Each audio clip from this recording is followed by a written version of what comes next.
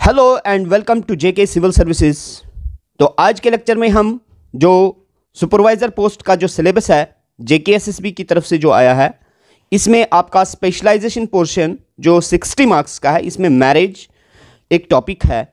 आज के लेक्चर में हम मैरिज को डिस्कस करेंगे और इस टॉपिक में हम मैरिज के रिलेटेड जितनी भी चीज़ें हैं, वो सारी पढ़ेंगे। ठीक है, कुछ टर्मिनोलॉजीज़ है यहाँ पे सिंबल्स है, उनको डिस्कस किया जाएगा।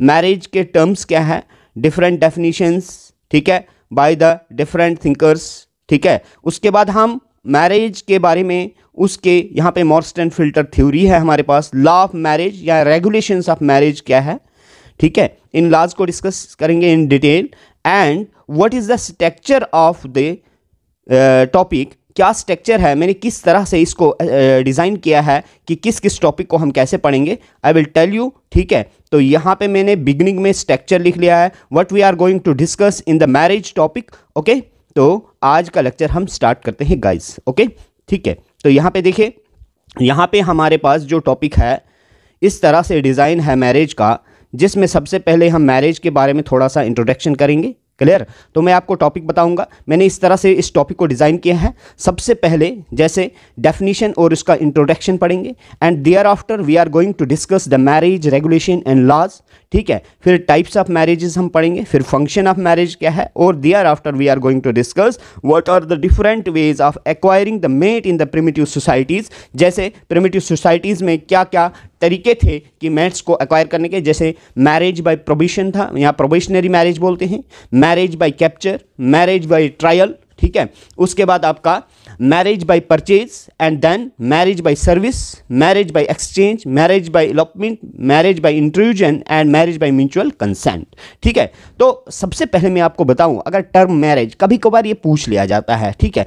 तो बेसिकली सबसे पहले ये मैरिज का जो टर्म है, यहाँ पे यहाँ पे क्या है?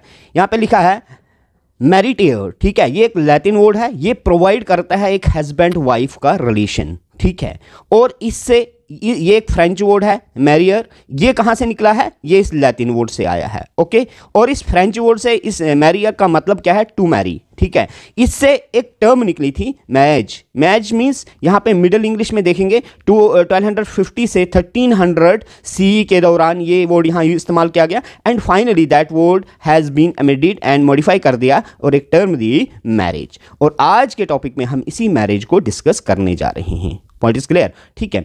अब कुछ सिंबल्स है जिस तरह से हम रिप्रेजेंट करते हैं किनशिप वगैरह ड्रा करने के लिए। अभी बताएँगे, हम किनशिप बिल्कुल डिटेल में पढ़ेंगे। बट थोड़ी सी टर्म्स यहाँ पे यूज़ होती है। जैसे हम जब लॉज और रेगुलेशन को डिस्कस करेंगे, वहाँ पे इन चीज़ों का इस्तेमाल होगा। तो मैंने आपको यहाँ पे ट्राइंगल बनाई है, ठीक है। ये मैन के लिए मीन्स मेल के लिए रिप्रेजेंट होता है। सर्कल आपका वो मेन के लिए होगा। इक्वल टू का साइन होगा, वो मैरिज को रिप्रेजेंट करेगा। यहाँ पे इस तरह का साइन जो है, इस तरह का साइन ये कनेक्टिंग सिबलिंग्स को बताता है। अगर साइन इस तरह का मिले, ये ट्विंस को बताएगा और उसके बाद आपको अगर साइन इस तरह का होगा, ये अनस्पेसिफाइड सेक्स है, ठीक है? उसके बाद हमारे पास यहाँ देखेंगे, अगर इस ट्राइंगल में ऐसे लाइन ड्रा कर दी जाए, उसका मतलब मैन डेड है, ठीक है? अगर इस सर्कल में भी लाइन ड्रा कर दी जाए, ऐसे बीच में काट दिया जाए तो वुमेन डेड हो जाती है और यहाँ पे इक्वल टू का साइन में अगर क्रॉस मार दिया जाए, जैसे ये मैरिज थी यहाँ पे और यहाँ पे डाइवर्स हो गया ओके गाइज़ तो इनके साथ यहाँ पे हम डिस्कस करेंगे। चलिए अब हमारा जो पहले टॉपिक है, मैं आपको बताऊँ यहाँ पे। यहाँ पे मैंने काफ़ी चीज़ें इसमें ऐड की है।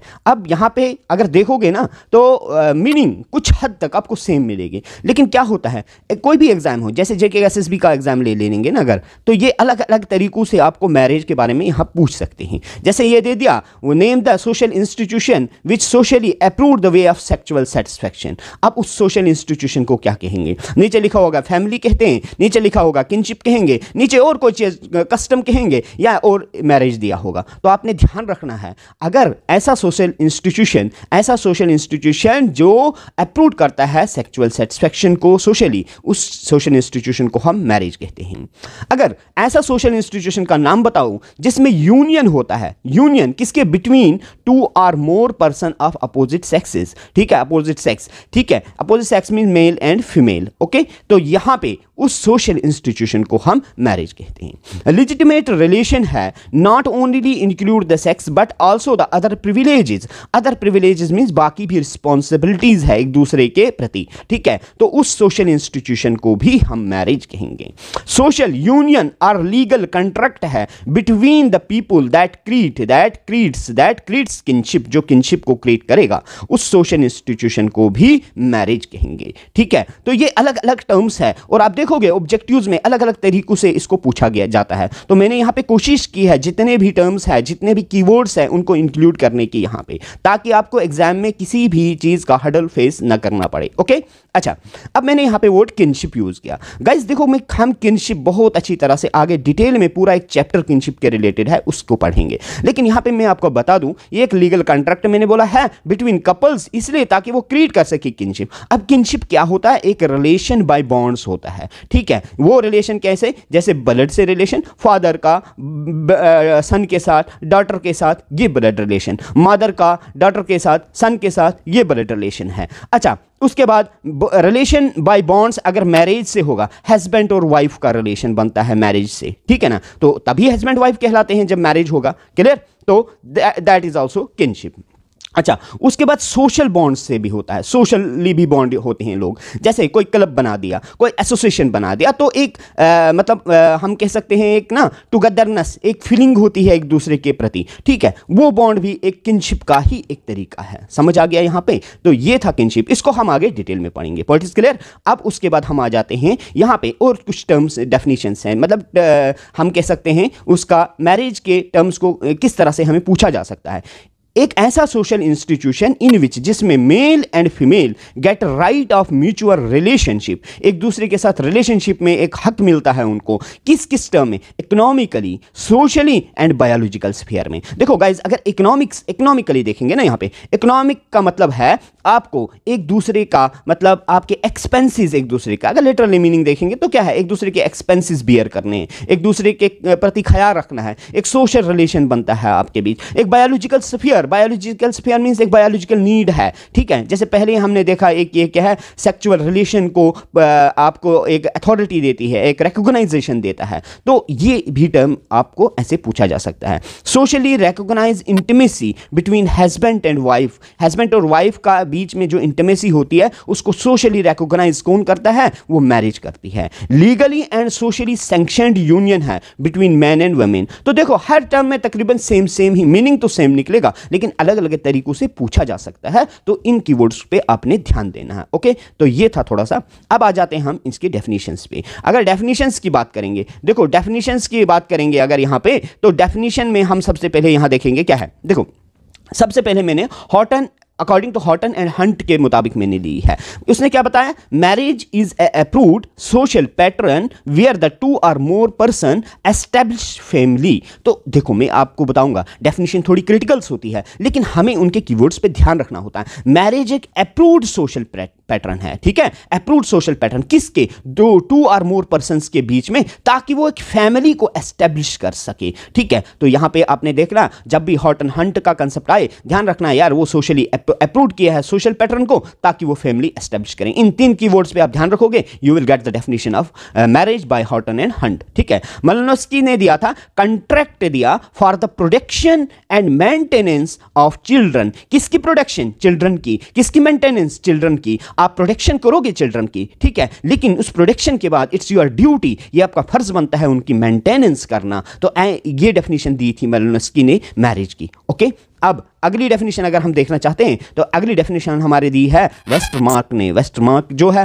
वेस्ट मार्क ने क्या डेफिनेशन दिया है? देखो, इसने बोला है relationship of one or more man to one or more women which is recognise by custom and laws ठीक है कस्टम एंड लॉ जो कस्टम और लॉज रिकोगनाइज करेगा, एक रिलेशनशिप किसके बीच में? एक मर्द, एक औरत एक से ज़्यादा मर्द, एक से ज़्यादा औरतों के बीच में, ठीक है? आगे देखोगे ना अलग अलग टाइप्स की मैरिज होती है पॉली एंड्री पॉलीगैमी तो वो सारा क्लियर हो जाएगा आपको, है ना? इसलिए वन आर मोर वमेन या वन आर मोर मैन के बीच में इसने यहाँ पे टर्म को यूज़ किया। तो क्या है? एक रिलेशनशिप है। किसके बीच में? वन आर मोर वुमेन के बीच में। रिकोगनाइज करेगा किस रिकोगनाइज किसकी, किसके थ्रू रिकोगनाइज होता है? Customs and laws mean society में अप्रूव्ड होना चाहिए। सोसाइटी ये नहीं माननी चाहिए, भाई, ये चीज़ें जो है, वो सोशल नॉर्म्स के खिलाफ है। ये सोशल नॉर्म्स के खिलाफ नहीं होना चाहिए, ठीक है? तो ये थी डेफिनेशन किसकी? वेस्ट मार्क की। ठीक है? अब बात करते हैं अगली डेफिनेशन अगली डेफिनेशन जेपी मोडॉक ने दी है। जेपी मोडॉक जो है, उसने क्या बोला? ये एक यूनिवर्सल इंस्टीट्यूशन है। कौन? मैरिज दैट इन्वॉल्व जिसमें क्या होता है? रेजिडेंशियल कोहैबिटेशन देखो रेजिडेंशियल कोहैबिटेशन मींस आप एक छत के नीचे रह सकते हो। ठीक है? आपको कोई नहीं बोलेगा, भाई, आप कट्ठे क्यों रह रहे हो? Because you are socially approved by a social institution that is known as marriage. Through marriage, you can live together. ठीक है? No one can challenge you ठीक है? उसके बाद economic cooperation. It is your duty. Because of the social because of this marriage, this social institution, you are bound to each other. You will bear the expenses of each other. उसको हम economic cooperation कहेंगे। आप एक दूसरे के खर्चे का ख्याल रखोगे। एक दूसरे के बीमारी में एक दूसरे का ख्याल रखना है। एक दूसरे के एक्सपेंसेस को एक दूसरे को कॉपरेट करना है। And and next one is the formation formation किसकी करनी है? एक न्यूक्लियर फैमिली की। ये जेपी मोडक की डेफिनेशन है। गैस मैं बताऊँगा न्यूक्लियर फैमिली क्या है। सपोज़ करो, ये एक मेल है मतलब मैन है, इसको एक शादी हुई वुमेन के साथ, ये इनके क्या हैं? ये इनके ऑफस्प्रिंग्स है, ये इसका बेटा है, ये इसकी बेटी है, ठीक है? अब सपोज़ करो, एक बेटा, दो बेटे भी हो सकते हैं, एक बेटी, दो बेटियाँ, एक बेटी, या बेटे ही बेटियाँ, ये अलग बात है। लेकिन मैं आपको यहाँ पे कंसेप्ट न्यूक्लियर फैमिली का समझाना चाहता हूँ। न्यूक्लियर फैमिली वो होती है parents along with their unmarried children parents parents तो होंगे, और उनके चिल्ड्रन उनके बच्चे, उनके ऑफस्प्रिंग्स जो होंगे, वो अनमेरिड होने चाहिए, ठीक है? इसको हम न्यूक्लियर फैमिली कहते हैं। तो आगे हम बिल्कुल फैमिली में हम बिल्कुल कंप्लीट मतलब एक लॉन्ग वे में डिस्कस करेंगे। न्यूक्लियर फैमिली क्या है? जॉइंट फैमिली क्या है? पैट्री लोकल जो है, या मेट्री लोकल जो है लीनिएज का डिफरेंट तरीके से हम फैमिली को डिस्कस करेंगे। बस जस्ट यहाँ मुझे आपको समझाना था इसकी डेफिनेशन को। तो ये कीवर्ड्स आगे एक रेजिडेंशियल कोहबिटेशन है यूनिवर्सल इंस्टीट्यूशन है, जिसमें इन्वॉल्व होता है कि आप रेजिडेंशियल कोहबिटेशन कर सकते हो इकोनॉमिक कॉपरेशन कर सकते हो एक दूसरे के साथ, और फॉर्मेशन ऑफ़ न्यूक्लियर फैमिली करोगे। पॉइंट इज़ क्लियर ये जेपी मॉडक की डेफिनेशन है। ओके गाइज़ अब नेक्स्ट एक डेफिनेशन है एंडरसन एंड पार्कर ने दी है। एंडरसन एंड पार्कर ने क्या बोला है? किस तरह से सोशल इंस्टीट्यूशन मींस मैरिज को डिफाइन किया है? इसने बोला sanctioned by society and durable bond होता है ओके बिटवीन किसके बीच में? One or more male and one or more female establish to permit ये मैन की वोट है। एक तो सैंक्शनड बाय सोसाइटी है ड्यूरेबल बॉन्ड है, और दूसरा ये परमिट करता है। क्या परमिट करता है? एक सेक्चुअल रिलेशन को फॉर द पेरेंटहुड ये पेरेंटहुड क्या है? पेरेंट मतलब पेरेंटहुड का मतलब होता है parents in state of bearing child in state of bearing offspring ठीक है? तो पेरेंटहुड को सेक्चुअली आप सेक्चुअल रिलेशन जो होगा in order to acquire the parenthood that is approved by an social institution that institution is known as as marriage okay guys तो ये कुछ डेफिनेशंस थी। आए मैंने अपना बेस्ट ट्राई किया आपको तकरीबन कीवर्ड्स पे फोकस करने की ताकि आपको ये क्लियरेंस आ जाए। ओके अब एक टर्म छोटी सी आती है, ध्यान दो यहाँ पे। हमने अभी तक डिफरेंट डेफिनेशंस पढ़ी ना गाइज़ अलग अलग थिंकर्स ने अलग अलग तरीकों से डेफिनेशन दी है इसकी। अब यहाँ पे देखते हैं, क्या कोई भी डेफिनेशन यूनिवर्सली अप्रूव्ड है? या कोई एक डेफिनेशन है? बस उसी डेफिनेशन के मुताबिक पूरे समाज में, पूरे वर्ल्ड में, हर सेक्शन में, हर कम्युनिटी में मैरिज उसी तरीके से होती है। नहीं गाइज़ कुछ केसेस मैंने थोड़े बहुत यहाँ पे आपको दिखाए, ताकि इससे आपको क्लियर क्लियर क्लियरिटी बन सके। क्लियर हमने देखा, देखो, क्या है? Universal means every human society has institution of marriage आपको पता है ना कि मैरिज थ्रू द वर्ल्ड जो है अभी, ठीक है? मैरिज के ज़रिए ही मतलब आपका क्या है? मतलब हम कह सकते हैं रेसिस आगे बढ़ रही है। लेकिन आप देखोगे, इस मैरिज में कल्चरल वेरिएशन आती है। कल्चरल वेरिएशन कल्चरल वेरिएशन का मतलब भाई हाउ टू मैरी शादी के तरीके क्या हैं? किस तरह से शादी करनी है? ठीक है? शादी से पहले क्या क्या मतलब प्रोविजंस होते हैं। फिर उसके बाद आपके क्या एक दूसरे के प्रति क्या राइट्स हैं, क्या ड्यूटीज़ है? ठीक? उसके बाद होम डू दे मैरी किसके साथ आप शादी कर सकते हो? किसके साथ शादी नहीं कर सकते हो? किसके साथ शादी करना सोशली अप्रूव्ड है? ये नहीं है ना, अपनी मर्ज़ी से जिसके साथ मर्ज़ी आई उसके साथ शादी कर सकते हो। नहीं ना? ऐसा तो नहीं है। कुछ नॉर्म्स हैं, कुछ रूल्स है। और point is clear how many people at a time marry at a time कितने लोग एक दूसरे के साथ शादी कर सकते हैं? ये भी रूल्स एंड रेगुलेशन है। जैसे मैंने आपको एग्जांपल यहाँ पे छोटी सी उठाई है। यहाँ पे क्या है? अमोंग भेल भेल देखेंगे क्या है? एक ट्राइबल ग्रुप है राजस्थान का। गाइज़ जब वहाँ पे होली का फेस्टिवल होता है, होली का फेस्टिवल होता है ना, वहाँ पे क्या होता है? जो यंग मैन और यंग वुमेन्स जो होते हैं, वो डांस करती हैं। ये देखो, मैंने दिखाया। यहाँ पे क्या है? वो एक यहाँ पे यहाँ तो यहाँ पे कोई पूल या ट्री होगा, उसके बिल्कुल टॉप पे क्या करेंगे? कोकोनट पीस और विद जैगरी उसको साथ अटैच कर देते हैं, यहाँ पे बांधेंगे। अब क्या होता है? ये जो ये जो अंदर है, यहाँ पे है। अब इसका इसके बाहर वाला ये जो सर्कल है, ये वुमेंस का होता है। ये किसका होता है? वुमेंस का होता है। ये क्या करता है? इनका मकसद होता है इस पूल को प्रोटेक्ट करना प्रोटेक्ट करना। और मेन को असाइंड क्या होता है? लेकिन ये मेन जो होते हैं, ये बाहर जो है, इनको असाइंड होता है कि भाई आप अंदर जाके अंदर जाके आपने जाना जाना है, अंदर जाके इस पूल पे जो मतलब यहाँ पे बांधा हुआ है जो कोकोनट पीस और जैगरी इसको तोड़ना है ओके अब वुमेन्स इनको रेजिस्ट करेंगे, इनको रोकेंगे, लेकिन कोई, ये हर एक आदमी की यहाँ पे कोशिश रहेंगी, लेकिन ये ध्यान रखना, ये मेन कौन से मैन और वमेन जो यंग होते हैं मीन्स अनमेरिड होते हैं, ठीक है? अब सभी कोशिश करेंगे, इनमें से जो बंदा यहाँ पे इसको तोड़ देगा ना, फिर उसको एक ऑप्शन दिया जाता है कि भाई आप चूज़ करो, ये भी जी, ये जितने भी अनमैरिड वुमेन्स हैं यहाँ पे, इसके साथ आप शादी कर सकते हो, अपनी चॉइस की, ठीक है? जिसको सेलेक्ट करेगा, फिर वो औरत, वो लड़की, वो अनमैरिड वुमेन जो है, वो इस मैन के साथ शादी करेगी। क्या? अब मुझे बोलो गाइज़ क्या यही तरीका है हर जगह शादी करने का? नहीं ना, ये तरीका हर जगह एक्सेप्टेबल नहीं है। अब ये एक पर्टिकुलर कम्युनिटी है, ये पर्टिकुलर एक ट्राइबल ग्रुप है, यहाँ पे इस तरह से शादी की जाती है। पॉइंट इज़ क्लियर लेकिन क्या ये हर जगह है? Not applicable to the all society है ना? तो यहाँ से ही पता चल गया भाई कोई भी एक पर्टिकुलर तरीका कोई भी एक पर्टिकुलर प्रोविज़न किसी भी आ, मतलब that is not universal that is not universal point is clear ठीक है। अब उसके बाद देखेंगे। और एक मैंने थोड़ा यहाँ पे आपको यहाँ पे ज़िक्र किया है। यहाँ पे एक चीज़ है जैसे Nayars of Malabar coast of India है वो पॉलियंड्री एक्सेप्ट करते हैं। अभी पढ़ेंगे पॉलीएंड्री पॉलीगैमी क्या होता है, सारी चीज़ें डिस्कस करेंगे। बस यहाँ पे आपको थोड़ा सा ये, आपको हिंट देना था कि भाई यूनिवर्सली एक्सेप्टेड है या नहीं होती है। क्लियर हर एक डेफिनेशन हर जगह फिट है या नहीं है। क्लियर अब यहाँ पे क्या गया हस्बैंड और वाइफ शादी करने के बाद अलग अलग रहते हैं। और न कोई न्यूक्लियर फैमिली का कंसेप्ट होता है इनको, और न इकोनॉमिक कॉपरेशन एक दूसरे के साथ करते हैं। पॉइंट इज़ क्लियर लेकिन ऐसा क्या सारी कम्युनिटीज़ में, सारे सेक्ट्स में या हर जगह है? नहीं, ये तरीका प्रेवलेंट हर जगह नहीं है। अच्छा यहाँ पे मैंने एक मोटिस्टन फ़िल्टर थ्योरी है गाइज़ इसमें क्या होता है? How to select the mate आप अपना पार्टनर किस तरह से सेलेक्ट करोगे? और ये देखोगे if you will see this is prevalent in मतलब हर कम्युनिटी में इसी तरह से होता है। जैसे क्या होता है? सबसे पहले वो फ़ील्ड ऑफ़ एलिजिबल देखता है। भाई देखेगा मैंने किस एरिया में शादी करनी है? मैंने सिटी वाले एरिया में शादी करनी है। मैंने अपने डिस्ट्रिक्ट में ही शादी करनी है। डिस्ट्रिक्ट से बाहर शादी करनी है। अपनी कंट्री में करनी है। फॉरेन कंट्री में करनी है। दूसरी स्टेट में करनी है। जब वो पॉसिबल ऑप्शन ढूंढ लेगा, फिर उस स्टेट का सेलेक्ट कर दिया। ठीक है भाई, फलानी स्टेट में मैंने करना है। एक्स ए स्टेट में करनी है। बी स्टेट वाला सोचता है, मैं ए स्टेट में शादी करूँगा। वेदर जो लड़का है या लड़की है, कोई इसमें नहीं है। लड़का भी ढूंढ सकता है, लड़की भी ढूंढ सकती है रिश्ता। ठीक है? अब क्या करते हैं? इस, इन दो काम के लिए। यहाँ पे फिर देखते हैं भाई इस इसमें, जब इस स्टेट में करने हैं कौन सी डिस्ट्रिक्ट के अंदर करनी है? फिर कौन सी कम्युनिटी में करनी है? कौन सी कास्ट में करनी है? देखो गाइज़ ये कास्ट वगैरह नहीं हमने है मतलब ऐसा नहीं है कि ये, लेकिन हम लोग अभी प्रेविलेंट है कुछ की फलानी कास्ट में नहीं करने। हाइपो हाइपरगैमी हाइपोगैमी जब पढ़ोगे अपना अपर कास्ट लोअर कास्ट में कैसे होती है शादियाँ? ठीक है?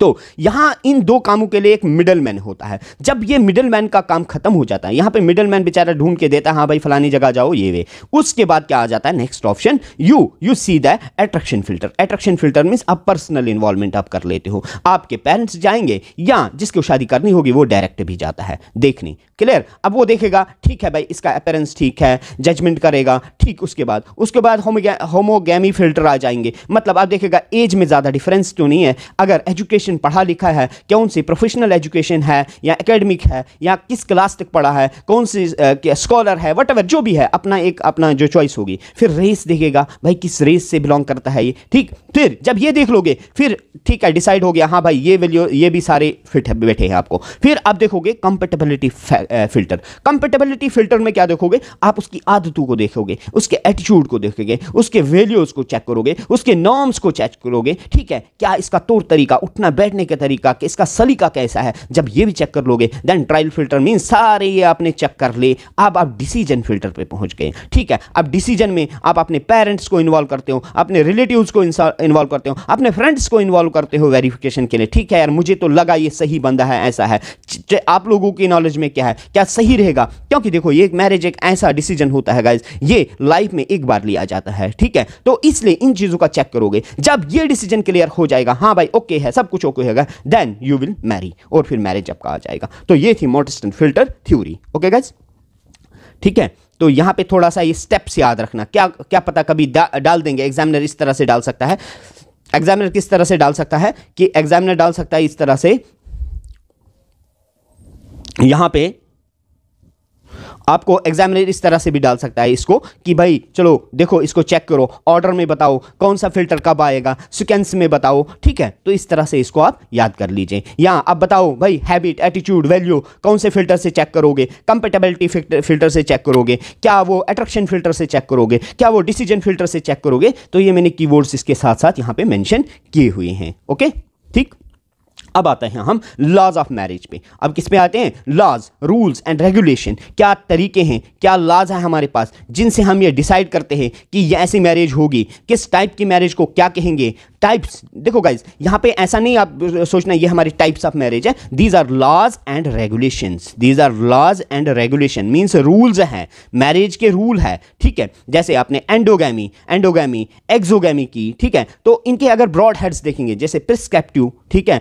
प्रोफिशियल प्रो प्रोस्क्रिप्टिव यहाँ पे आपके अदर रूल्स आते हैं। तो ये कुछ लाज हैं, इन लाज को हम पढ़ेंगे, किस ला में क्या अलाउड है, कैसे है इस टाइप की मैरिज को क्या कहेंगे? क्लियर पॉइंट इज़ क्लियर तो यहाँ पे सबसे पहले हम we are going to discuss the prescriptive अगर देखेंगे। तो यहाँ पे देखो प्रिस्क्रिप्टिव में आप देखोगे एंडोगैमी होती है और एक्सोगैमी होती है। अगर प्रेफेंशन में देखोगे प्रेफेंशन में पैरल कज़न मैरिज होती है क्रॉस कज़न मैरिज होती है लिवरेट मैरिज होती है सोरेट मैरिज होती है अंकल नीस मैरिज होती है। और अदर रूल्स में अगर देखोगे आप हाइपरगैमी होती है हाइपोगैमी होती है, मैंने आपको बोला ना हाइपर मीन्स हायर कास्ट में हाइपो मीन्स लोअर कास्ट में, और हिंदू सोसाइटी एनोलोम एनोलोमा में कहते हैं इसको, और ये इसको हम हिंदू सोसाइटी में पैट्रिलोमा कहते हैं। ठीक है? यहाँ पे ए है। ओके?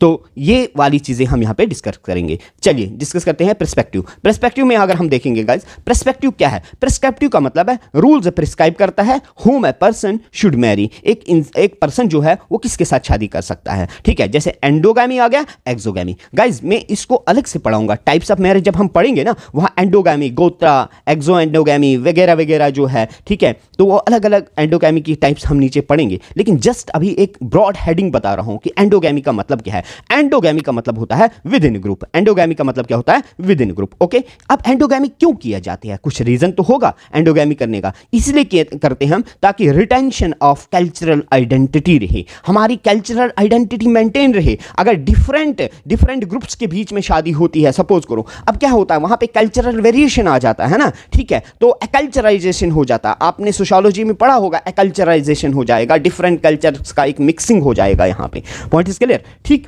तो उसके बाद जैसे हमारे पास ट्राइबल एंडोगामी मिलेगी कास्ट एंडोगामी मिलेगी टोटा मोइटो एंडोगामी मिलेगी। अब देखो एंडोगामी का एक तरीका और भी रीजन मैंने लिखा कंसर ऑफ़ मैजिक जैसे एक मिथ होता था पुराने ज़मानों में ये सोचा, आज भी कुछ सोसाइटीज़ में ऐसे सोचा जाता है, ठीक है? थोरो ऑफ़ तराई जैसे एक ये ये हमारे पास एक ट्राइब है यहाँ पे यहाँ पे आप देखोगे थोरो ऑफ़ तराई क्या करते हैं ये? ये बोलते हैं, भाई, अगर आप बाहर वाली, बाहर मतलब एंडोगामी मतलब एक्जोगामी करोगे, किसी दूसरे ग्रुप में आउटसाइड द ग्रुप शादी करोगे तो उनको खतरा होता है कि जो वुमेन होती है वो वुमेन क्या कर सकती है? उनको ब्लैक मैजिक मीन्स काला जादू कर सकती है ठीक है ना? कोई जादू वगैरह कर देगी उसको उनको कर देगी उनके फैमिली मेंबर्स को कर देगी मतलब एक मिथ है ठीक है? तो इसीलिए प्रेफर किया जाता है एंडोगैमी करने का। एक तो, एक तो रीजन ये था कल्चरल हमने क्या देखा? कल्चरल आइडेंटिटी को मेंटेन रखना चाहते हैं। पॉइंट इज़ क्लियर अब नेक्स्ट नेक्स्ट है एक्सोगामी एक्सोगामी में देखोगे अगर ये टर्म जो है वो मैक्लिनॉन ने दी है marriage outside the particular group मैंने पी ग्रुप लिखा है गाइज़ इसका मतलब है पर्टिकुलर ग्रुप अपने पर्टिकुलर ग्रुप से बाहर शादी करेंगे। टोडा क्लान ऑफ़ एक्सोगामी एक एग्ज़ाम्पल है इसका। अभी इसमें क्या रीजन है? एक जनरल रीजन माना जाता है harmful health effects inbreeding prevalent मतलब हार्मफुल हेल्थ इफेक्ट्स कुछ देखते हैं कि भाई अगर विद इन द ग्रुप किया जाए, कुछ जेनेटिक वेरिएशन आ सकती है, ठीक है? तो ये एक रीज़न है इसका ओके ये थे हमारे पास एंडोगैमी और एक्सोगैमी का अब हमारे पास प्रेफरेंशियल रूल्स देखेंगे अगर गाइज़ प्रेफरेंशियल रूल में क्या होता है? अगर प्रेफरेंशियल रूल देखोगे प्रेफरेंशियल रूल क्या करता है? प्रेफर करेगा फॉर सर्टेन कैटेगरीज को कि फलानी कैटेगरीज में आप शादी करोगे, फलानी कैटेगरीज में आपकी शादी नहीं करनी है। जैसे सबसे पहली टाइप हमारी आ जाती है cross cousin marriage cross cousin marriage क्या होता है? देखो क्रॉस कज़न मैरिज क्या होता है? बिटवीन द कजन्स होगी whose parents are brothers and sister मतलब कजन्स के बीच में शादी होती है, लेकिन उनके पेरेंट्स आपस में भाई बहन है। ठीक है? भाई, बहन है। तो ये होती है क्रॉस कज़न मैरिज अब इस क्रॉस कज़न मैरिज में अगर आप देखोगे तो क्रॉस कज़न मैरिज में यहाँ पे देखो, मैं यहाँ पे आपको ड्रा करके बताता हूँ। ये, देखो, ये दो कपल्स हैं ओके ये इनके आगे ऑफ़ स्प्रिंग्स एक बेटी इसकी है, इनकी ये, और ये इनका बेटा है ओके अब बेटे की भी भाई शादी होती है, ठीक है? और बेटी ने भी शादी की फिर उनके स्प्रिंग्स ऑफ़ स्प्रिंग्स हुए मीन्स उनके बच्चे हुए, ये इसकी बेटी है और ये इनका बेटा है। बेटा, ठीक है यहाँ पे, ये है। इस तरह से। अब क्या करते हैं? देखो, इस, ये ये और ये आपस में भाई बहन थे। मैं कलर चेंज करता हूँ थोड़ा सा, ताकि आपको क्लियरेंस आए। हाँ ये ये और ये वाले आपस में भाई बहन थे ना, ठीक है? इनकी शादी हुई, फिर इन्होंने क्या किया? अपने बच्चों की शादी करवाई। तो जब अपने बच्चों की शादी करवाई, ऐसे मैरिज को हम क्रॉस कज़न मैरिज कहते हैं। पॉइंट इज़ क्लियर अब क्रॉस कज़न मैरिज भी दो तरीकों का होता है। एक तो पीसीसीएम बोलते हैं, ठीक है? पीसीसीएम तो पीसीसीएम का मतलब होता है यहाँ पे पैटर्नल क्रॉस कज़न मैरिज और एमसीसीएम का मतलब होता है मैटरनल क्रॉस कज़न मैरिज मैं आपको बताऊँगा। देखो, अभी मैंने ये डायग्राम ड्रा की ना, मैंने बोला था ये मेल के लिए होती है और ये फीमेल के लिए होती है। अब मैं क्या कर रहा हूँ, अगर इस डायग्राम के अंदर बिल्कुल ब्लैक कर देता हूँ शेड कर दूँगा पूरा, ठीक है? अब ये मतलब हो जाता है, भाई, हमने ये जो किनशिप ड्रा करनी है, वो इसको रेफरेंस मान के ड्रा करनी है. पॉइंट क्लियर देखो, मैं समझाता हूँ पीसीसीएम पैटर्नल क्रॉस कज़न क्या होता है कि फादर्स सिस्टर्स चिल्ड्रन ये क्या कर रहा है, ये लड़का, ये अपने फादर की सिस्टर जो थी, उसकी बेटी के साथ शादी कर रहा है। हालाँकि शादी तो इसने भी की। शादी तो गाइज़ इसने भी की ना। शादी तो इसने भी की इसके साथ।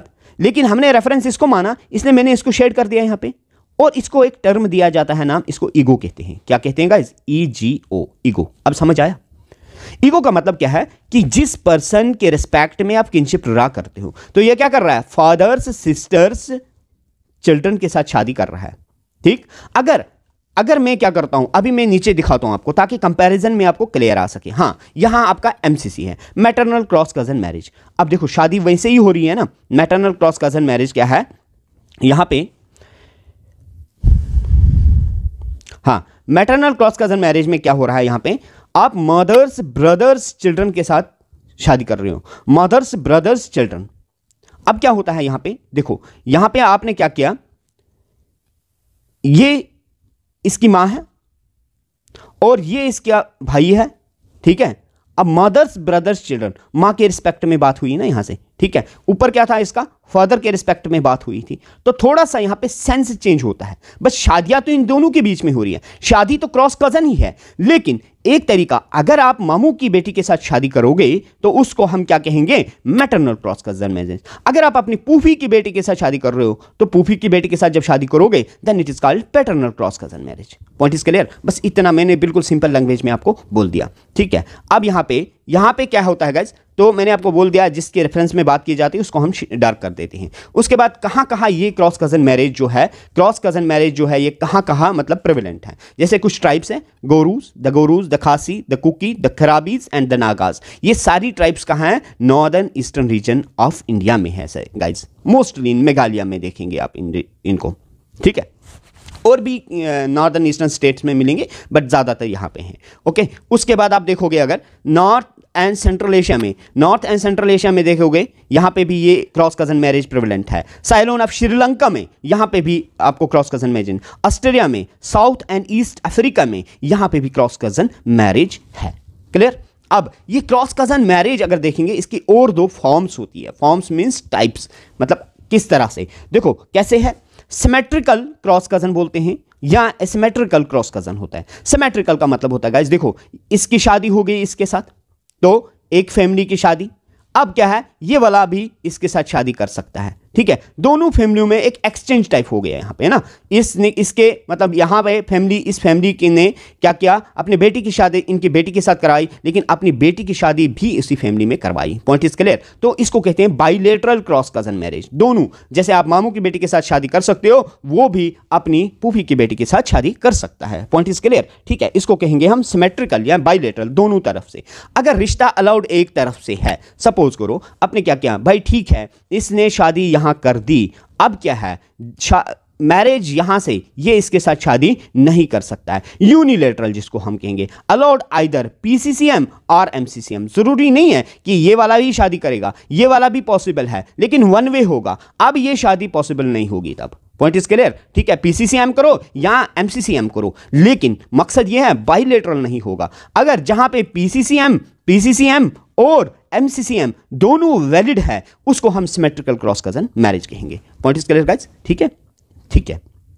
चलिए, अब रीज़न क्या है? कुछ न कुछ वजूहत तो होती है, ताकि बैलेंस रखते हैं against the high bride price अब देखो, बिल्कुल फैमिली एक दूसरे के साथ आरेडली कनेक्शन में आरेडली रिलेटिव्स हैं एक दूसरे के तो भावनाओं को समझते हैं। आज के दौर में मुश्किल है, आज के दौर में मुश्किल है, और ये एक बहुत, एक हम, मैं कह सकता हूँ, ये एक सोशल क्राइम है, ये एक सोशल क्राइम है। क्या है एक सोशल क्राइम कि भाई हम ये जो दहेज वगैरह का, मेहर का इतना बड़ा कंसेप्ट रखते हैं, जिसकी वजह से हमारी बहनें, हमारी बच्चियाँ जो है, वो बहुत एज तक शादियाँ नहीं होती हैं उनकी। ज़्यादातर उन फैमिली के लिए मुश्किल है, जो काफ़ी गरीब फैमिलियाँ हैं, वो एफर्ट ही नहीं कर सकती हैं। तो इस सोशल क्राइम को ख़त्म करने के लिए तो इनको कहीं ना कहीं ये खोप भी होता है, एक बैलेंस बना रखते हैं, हाई ब्राइड प्राइस नहीं मिलेगा, ठीक है? गोनेट्स आप मध्य प्रदेश जो है, एक्सप्रेस करते हैं, मदर्स ब्रदर्स डाटर, दूध लटाओ, एक टर्म होती है, ये मैंने यहाँ पे ऐड कर दिया है, दूध लटाओ एक टर्म है, इसका मतलब होता है रिटर्न ऑफ़ मिल्क ठीक है? वो क्या करता है? मदर्स ब्रदर्स डाटर के साथ शादी करता है। मदर्स ब्रदर्स डाटर के साथ शादी करेगा ओके चलिए, अब हम बात करते हैं पैरेलल क्रॉस कज़न मैरिज की। पैरेलल क्रॉस कज़न मैरिज में क्या होता है? देखो गाइज़ ऊपर भी क्रॉस कज़न मैरिज हो रही थी, लेकिन क्या था? एक भाई था, दूसरी बहन थी। अब या दोनों भाई होंगे, दोनों भाई अपने बच्चों की शादी करवा सकते हैं, या दोनों बहनें होंगी यहाँ पे अपनी बच्चों की शादी करा सकते हैं। ठीक है तो marriage between the children of sibling of same sex चाहे वो मेल हो, चाहे वो फीमेल हो, दो ब्रदर्स होंगे, ठीक है? तो वो अपने बच्चों की शादियाँ करवाते हैं आगे। पॉइंट इज़ क्लियर और दो बहनें होंगी, वो भी अपने बच्चों की शादियाँ करवाते हैं। ऊपर क्या था? एक भाई था और दूसरी बहन थी। फिर उन्होंने अपने बच्चों की शादियाँ करवाई थी। क्रॉस हुआ, ठीक है? यहाँ पे क्रॉस नहीं हो रहा है। यहाँ मेल मेल के साथ। और फीमेल फीमेल जो है, आपस में अपने बच्चों की शादियाँ करवाते हैं। Point is clear I think बिल्कुल क्लियर कंसेप्ट हो चुका होगा। डायग्राम से और भी क्लियर हो जाएगा। यहाँ पे थोड़ा सा ये गज देखना, यहाँ पे ये लिंक है हमारा, यहाँ पे ट्राइंगल है हमारी, ये भी ट्राइंगल है हमारी ओके तो यहाँ पे क्या आ गया हमारा? अब देखो मैरिज बिटवीन करेंगे। ये दो कपल्स हैं, इनकी बेटियाँ ही दो हैं। अब इन्होंने अपनी बेटियों की शादी करवा दी। करवा दी ना? अब उनके बच्चे हुए तो उन्होंने बच्चों की शादी करवा दी। अब देखो, बहनें ही दो थी ना सेम सेक्स था यहाँ पे। तो इसीलिए इनको हम पैरेलल क्रॉस कज़न मैरिज कहेंगे। मैंने नीचे भी दिखाया ये देखो, ये भाई दोनों है। ये क्या है? ये भाई है दोनों। दोनों भाई हैं। तो इन्होंने अपने बच्चों की जब शादी करवाई। सेम सेक्स है। ठीक है? पैरेलल क्रॉस कज़न मैरिज इसलिए इनको कहेंगे। पॉइंट इज़ क्लियर ठीक है? तो इस पैरेलल क्रॉस कज़न मैरिज में हो गया। जैसे ये कहाँ कहाँ प्रेवलेंट है, ये आप देखोगे यहाँ पे अरब में, मुस्लिम ऑफ़ इंडिया में Reangs of Tripura Kurd of eastern and southern Turkey में ये प्रेवलेंट है इस टाइप की मैरिज ओके अब उसके बाद हम देखेंगे, और एक टाइप की मैरिज होती है सोरोरेट कहते हैं। Sororate man is obliged to marry the sister of his deceased wife sister of his deceased wife अब देखो, एक बंदा था, यहाँ पे ये कपल्स है, ये इसका बेटा है। ये इसकी बेटी एक बेटी और दो बेटी, ठीक है? अब इसने क्या किया? इस बेटी की शादी पहले करवा दी इसके साथ। लेकिन देखो, मैंने लाइन मार दी। अनफॉर्चुनेटली इसकी डेथ हो जाती है। डेथ हो जाती है। अब ये जो पर्सन है, इस पर्सन को इसकी सिस्टर के साथ शादी करनी पड़ेगी। क्लियर उसको सोरोरेट टाइप ऑफ़ मैरिज कहेंगे। अब ये सिस्टर यंगर भी हो सकती है गाइज़ ये सिस्टर इसकी एल्डर भी हो सकती है। अगर एल्डर सिस्टर के साथ करेगा तो उसको हम सीनियर सोरोरेट कहेंगे। किस, क्या कहेंगे? सीनियर सोरोरेट कहेंगे। अगर वो अपनी, उसकी छोटी बहन के साथ शादी करता है तो उसको हम जूनियर सोरोरेट कहेंगे। क्या कहेंगे? जूनियर सोरोरेट कहेंगे। तो यहाँ पे हम क्या कर रहे हैं? सोरोरेट मैरिज को समझ रहे हैं। तो मैंने आपको बता दिया कि ये वाली जो है, अगर ये एल्डर होगी तो उसको हम क्या कहते हैं गाइज़ उसको हम सीनियर सोरोरेट कहेंगे। अगर यंगर सिस्टर के साथ शादी करता है ये तो उसको हम जूनियर सोरोरेट कहेंगे। पॉइंट इज़ क्लियर ठीक? चलिए। तो यहाँ पे अब और एक टाइप ऑफ़ मैरिज जो हमारी आती है मतलब और एक रूल है रूल्स है टाइप तो आगे पढ़ेंगे इसे, लेकिन और एक रूल है हमारे पास, जो ला है, वो बोलता है लिवरेट टाइप लिवरेट टाइप अच्छा यहाँ पे मैं एक चीज़ आपको बताना था यहाँ पे यहाँ पे कभी कभार टर्म आ जाती है ऐसे, बताओ कि इस सोरेट में सोर जो वर्ड होता है, वो किसको रिप्रेजेंट करता है? वो सिस्टर को रिप्रेजेंट करता है, ये ये चीज़ ध्यान रखना ओके अब यहाँ पे इसी तरह से लिवरेट देखेंगे यार। लिवरेट में यहाँ पे अगर लिवी होगा, लिवर होगा तो किसको रिप्रेजेंट करेगा? वो रिप्रेजेंट करेगा किसको? वो रिप्रेजेंट करेगा ब्रदर को। ओके? ठीक है। लिवरेट में custom in which the women is obliged to marry the brother of her deceased husband okay? देखो, समझो डायग्रामेटिकली क्लियर हो जाएगा। ये कपल्स है। ये इनके बेटे हैं, एक बेटा और दो बेटे। इस बेटे की शादी इसके साथ हुई, ठीक है? अनफॉर्चुनेटली इसकी डेथ हो जाती है। अब ये जो औरत है, ये वाली, इसको she is obliged to marry with the with what with the brother of her deceased husband तो इसके साथ इसको शादी करनी पड़ेगी। अब इसमें भी लेवरेट में भी जूनियर और सीनियर होता है। अगर वो उसके एल्डर ब्रदर के साथ शादी करती है तो उसको हम सीनियर लेवरेट कहेंगे। अगर वो यंगर ब्रदर के साथ शादी करेगी तो उसको हम जूनियर लेवरेट कहेंगे। तो सीनियर लेवरेट मीन्स या एल्डर ब्रदर के साथ शादी अगर होगी, और जूनियर लेवरेट मीन्स अगर उसके यंगर ब्रदर के साथ शादी होगी। ओके फिर देखेंगे यहाँ पे ये वाली मैरिज कहाँ कहाँ प्रेवलेंट है? तो देखोगे गाइज़ अगर यहाँ पे ये वाली मैरिज जो है the Kukis the Nagas the Karbis the Muslims of India also the native of Australia यहाँ पे ये मैरिज प्रेवलेंट है। यहाँ पे ये मैरिज की जाती है। Junior levirate particularly Naga Karbis Australian में। और senior levirate Bhumijs of Orissa the Hos and the Turks ठीक है? तो ये कुछ ट्राइब्स के नाम मैंने एग्ज़ाम्पल दी है यहाँ पे। इस टाइप की मैरिज यहाँ पे होती है। नाउ द लास्ट आज के लेक्चर का जो लास्ट हमारा कंटेंट है, वो है uncle niece marriage uncle niece marriage क्या होती है? यहाँ पे क्या क्या होता है? अंकल नीस मैरिज को एवेंकुलेट मैरिज भी कहते हैं। क्या कहते हैं? Avunculate marriage marriage with the parents sibling अपने पेरेंट्स के सिबलिंग्स के साथ शादी करना। ठीक है? जैसे, अब मैंने पर्टिकुलरली यहाँ पे लिखा है बिटवीन अंकल एंड नीस की शादी होती है, उसको अंकल नीस मैरिज कहेंगे। आंट एंड नेफ्यू के बीच में, वो भी अंकल नीस एवेंकुलेट मैरिज के टाइप में ही आ जाती है। Point clear in some avunculate marriage prohibited by law, ये लॉ में प्रोहिबिटेड है, कुछ ये, ठीक है? परमिटेड लेकिन कहाँ कहाँ permitted mostly it is prohibited but in some areas it is prevalent it is allowed it is permitted and वो एरियाज़ क्या हैं? जैसे नॉर्वे है, जैसे चिल है अर्जेंटीना है कनाडा है फिनलैंड है नेदरलैंड है रशिया है इलीगल है। ये कौन? ये uncle niece marriage is illegal in Islamic societies regarded as prohibited by Islam ठीक है? प्रोहिबिटेड बाय इस्लाम अच्छा गाइज़ तो आज का लेक्चर इसके साथ ही हमारा वाइंड अप होता है। ठीक? अब हम इन कमिंग लेक्चर्स मैं आपको बता रहा हूँ we are going to discuss other topics of the marriage मैं पूरी कोशिश कर रहा हूँ आपको यहाँ पे हर चीज़ बताने की। बस लेक्चर में कुछ चीज़ें जो अगर जैसे औरली इंसान बोलता है, उन चीज़ों को भी आप नोट कर लिया करो। ताकि ताकि क्या होता है? कोई भी वर्ड आपके एग्ज़ाम से ना छूटे। ठीक है?